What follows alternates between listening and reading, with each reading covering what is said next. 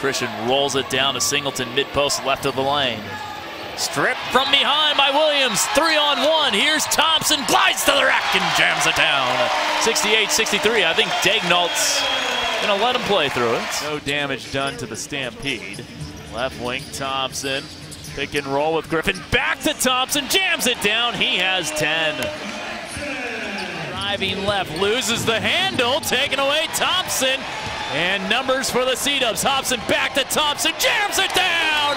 110 to 93 and another timeout called. That's second in the D-League coming into this contest. Well, Thompson challenged it nicely, and I think it kind of altered Denman's release. Alley-oop for Mychel Thompson from Elliot Williams. 48-43 affiliate of San Francisco. Anthony Vereen checking into the game, getting some early minutes. Lob for Thompson, alley-oop jam for Mychel. Great feed from Craft, and it's 14-6 Santa Cruz. Less egregious. A little less egregious. Actually, a lot less egregious. Hobson into the corner. Craft for Thompson. Bombs away. Rain dance. 113 to 94. Santa Cruz blowing this one wide open. Cooley another putback.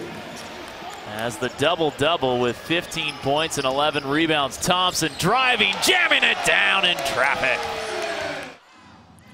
Warriors to inbound, leading by seven. Inbounds to Thompson. Thompson drives inside and dunks it.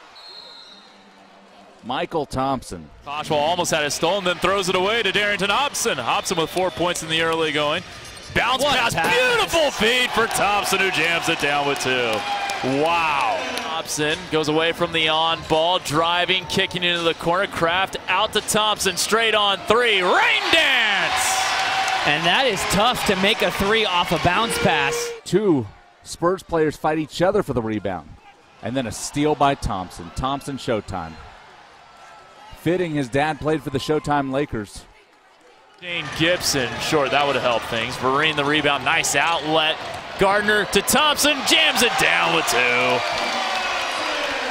Mychel Thompson with 25.